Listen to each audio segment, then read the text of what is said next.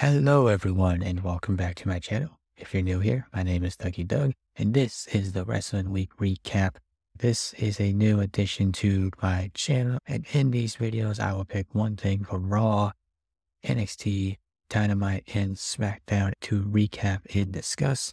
And what's that? Let's get into the recap for this week, starting with Monday Night Raw, brother versus brother at WrestleMania, Jey Uso versus Jimmy Uso. So this match has not been made official, but I think we can all agree that it is a matter of when and not if in regards to this match. So WWE set the stage for a battle of brothers back at SummerSlam 2023 when Jimmy Uso cost Jey Uso the Universal Championship and the title of Tribal Chief. Since then, Jimmy has cost Jey the undisputed WWE Tag Team Champion and the Intercontinental title. This has to be the breaking point for Jey setting up the WrestleMania match both men have always wanted. In the past year since the Usos main evented WrestleMania 39, Jey has passed his brother in terms of popularity and success, even if Jimmy has stopped him from winning gold. Jimmy has played a supporting role for Roman Reigns and Solo Sikoa, and he's barely allowed to stand out on his own. This match at WrestleMania should be Jimmy's moment. This is a chance for him to show he can match his brother in the ring, working the top contest both men have prepared for since they started wrestling. So who is the better Uso? My guess would be Jey on that one. I think Jey would win this match between the two of them. NXT. So NXT, not a very good show this week. Very flat. The women's championship match had some potential to be good. However, unfortunately, Shotzi would suffer an injury tearing her ACL. And because it was a taped show, you got to see the moment play out.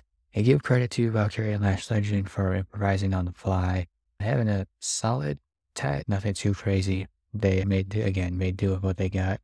So yeah, that match between Valkyria and Shotzi barely got going before Shotzi tore her ACL. Ava would then announce that there would still be a women's championship match with an open challenge. Lash Legend would answer, much to the dismay of Roxanne Perez.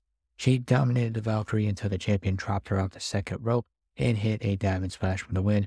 This was, like I said, a uh, an unfortunate situation. Best wishes to Shotzi on a full recovery from her ACL tear. Hopefully she can come back better than ever and get more opportunities like this to show her ability. To their credit, Valkyria and Legend did what they could afterward to give the fans a title match. It wasn't a clean fight, but Legend showed up more of her growing in-ring arsenal, while Valkyria worked from underneath. The finish was rushed uh, but it was all called on the fly. It's impressive that the two are able to string together anything with their shared experience and the need to immediately improvise. Valkyria would have likely retained her title no matter what, as the money is still on a Valkyria versus Roxanne Perez match at Stand and Deliver on April 6th. Dynamite. So this show got off to a hot start with BCC versus FTR, a match that would end in a draw with a rematch set for Revolution. Last I checked, the card that match has not been made official, but FTR threw down the challenge, and I can only imagine, and I can't imagine Tony Khan saying no to this. So, you know, the fans wanted five more minutes. Well, they're going to get a whole rematch at Revolution instead. The rest of the show didn't quite match up to this contest. It wasn't a bad show, but certainly didn't meet the high bar that the opening contest set. This was not a technical clinic despite three of the competitors in this match being technicians, but it was still a fun, hard-hitting fight that made all four guys look tough. This match kept getting better as it went. Every time the announcer revealed how much time was left, it added to the sense of urgency. The bell rang as FTR was about to hit the shatter machine, making it a draw. The crowd began chanting five more minutes, and when both teams started fighting, the ref called for security to break it up, and they would keep finding ways to fight despite dozens of people trying to keep them apart. Eventually, they would succeed, which then leads to the backstage promo segment from FTR that basically goes out the challenge for a rematch and almost leads to a backstage brawl between these two teams. And lastly, we have Friday Night SmackDown with the megastar L.A. Knight. Yeah, taking on Drew McIntyre in the main event, and a hotly contested match between these two ended in chaos as the six men involved in the men's elimination chamber match crawled to close the show. The match itself was rolling along just fine. However, with Kevin Owens and Logan Paul on at ringside on commentary, you knew some shenanigans was going to ensue, and sure enough, shenanigans ensued. Kevin Owens got laid out when McIntyre threw Knight into him, which led Owens to attack McIntyre, causing the match to end at a disqualification, which, let's be real here, that was probably about the best way this match was going to end. I couldn't really see either one of these guys taking a pinfall loss, so I'm okay with the disqualification finish, even if it is a shame that we didn't get a definitive finish to this matchup. So yeah, disqualification happens, cue the brawl, and exchange of finishers between the competitors.